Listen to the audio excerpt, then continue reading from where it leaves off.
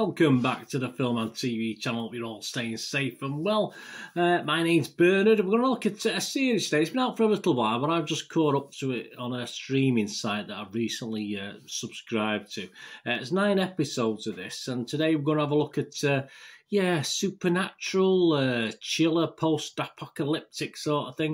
We're going to have a look at The Stand today, a 15 rating. Please, the channel is now monetized, so you can give us any support by watching any of the ads or following any of the links that are of interest to you. Uh, if they're not of interest to you, you've still got the option of skipping, of course, but it will help the channel going forward uh, if you do uh, watch or sort of uh, uh have an interest in these. Sometimes, sometimes it interests me. Sometimes I do watch one. Uh, not all the time, obviously, but if you can do that, I'd be much appreciated. All thumbs up. Very welcome, guys. Press that notification button. Please spread the word about the channel and obviously my football channel as well, if you can do that. Right, the stand, yeah, a 15 certificate. 8 hours and 30 minutes approximately over the nine episodes. I did watch this on Starzplay, yeah, on the 18th and 19th of January 2022, so over a couple of days a post-apocalyptic dark fantasy written of course and based on the story by stephen king that was first published back in 1978 by doubleday. I did like uh, stephen king's early stuff. I, I, I must admit i got a little bit bored with some of his later stuff and i sort of put me off reading. Obviously i've not read of stephen king for a while but I, I did i did find he got a bit too wordy and not enough action for me or not not enough murder and horror for me but uh, there you go. But certainly back in 1978, he was certainly one of my favourites. And the plot centres on a deadly pandemic of weaponised influenza. we're not too overdone with that at the moment. And its aftermath, of course, in which a few surviving humans gather into little factions and groups that are each led by personification of either good or evil. Uh, is there any in between? Probably not. And seem fated to clash with each other King started writing this story in February 1975 originally, uh, seeking to create an epic in the spirit of Lord of the Rings. Yeah, okay, uh, it's a little bit different. That was set in contemporary America or USA. The book was difficult for him to write because of the large number of characters and storylines. Well, what was difficult about that? You just split it into, into parts, don't you? I don't, I don't understand what, why it was difficult. Uh, the miniseries uh, was brought a, fir- a first miniseries was broadcast. Uh, yeah, I do remember this. I might go back and watch this. Uh, was broadcasting on ABC in 1994, and of course uh, 2008 to 2012 as well. So there's been options of this book, take up options of this book, of course, previously. Marvel Comics published a series of comics on this as well. It completed its run uh, in February 2021. As I say, I'm watching this in 2022 on Starzplay, so about a year later than it originally aired. Stars Whoopi Goldberg, Alexander Skarsgård, James Marsden, Odessa Young, Jovan Adepo, and Amber Heard. Is it any good? Well, these scores are all us all at the uh, 20th of January 2022. Uh, we've got a Rotten Tomatoes with a 55% positivity. Not fantastic. Uh, Ed Power, he didn't like it from the Daily Telegraph here in the UK. He said, never rises above a slightly dreary competence quite well put for criticism. Allison Shoemaker, though, she's fresher on this. She's from RogerEbert.com. She said, a sometimes dazzling, often frustrating, and undeniably assured effort that swings hard and occasionally connects. When it does, it's riveting television. When it doesn't, well, it's not boring. Yeah, I suppose that's probably right.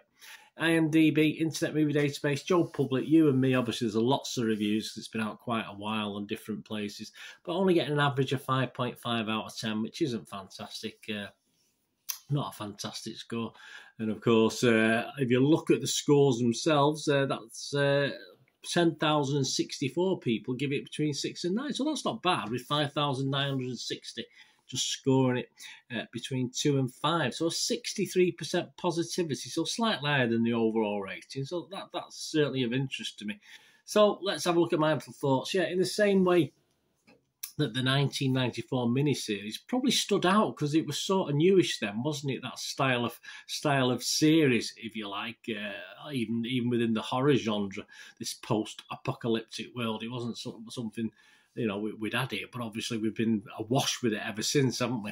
Uh, and now we get all the new ones. So this this one's struggling just a little bit because uh, it seems a little bit unexciting and not as exciting as what we've already had over the last few years uh, and interesting stuff. So it, has, it hasn't aged particularly well, although they have, obviously have tried to update it. That's not to say it doesn't have its good bits. It does. There are some. There's some good. They try to put little quirky scenes in to modernise it. We don't quite work sometimes. The soundtrack is not as perhaps as clever as other uh, new modern series in this this genre.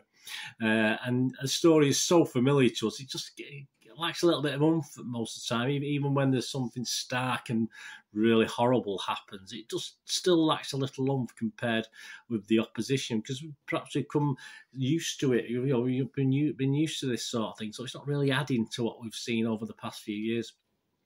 But overall, it's not a disaster. It's very, very watchable. As I said, it did make me want to go back and watch that original series from the from the nineties. So that can't be too bad. And it's okay. It is okay. But as I said, it's just a little bit out of its time now. I think, and they have they have modernised it, of course, yeah. But uh, yeah, it just looked a little bit dated compared to some of the stuff that's that's already already out there. As I'm watching this in well 2022 now we're in, so. Uh, that, that's the only problem. But as I said, it's uh, it's fine. It's fine. It has it's its okay bit. So we'll give it a watchable rating. I'll give it a standard six out of ten. It did, you know I did watch it, and I could I could do other bits and pieces while I was watching it. It's a, it wasn't overly clever where you're getting loads of flashbacks and having to concentrate. It's it's quite easy to watch and quite easy to follow the the storylines. Uh, you know, although there is a bit of messing about with timescales and stuff. It, it doesn't detract from it at all. So I'll give it a six out of ten anyway. Let me know what you you thought, guys. I Said you might have watched this a while ago. As I said, it's the first time I've I've got around to watching this, but I thought I'd give it a go. As I've got a sort of trial sub on this Starzplay for three months, and obviously I, I doubt I'll be renewing it. There's there's bits and pieces on there that are of interest, but obviously there's so many subscription channels, you have to sort of uh, cut, you know, keep it to the minimum, don't you guys? If you're like me, you have to watch the old pennies. Anyway, thanks for watching today, guys. Whatever you're going to do the rest of the day, have a great one. Look after yourselves, look after your friends, look after your families. More importantly, let's all look after each other to meet here again on the Film and TV channel. I only ask one thing of you, don't I? Please stay safe, everyone. Thanks for watching. Bye for now.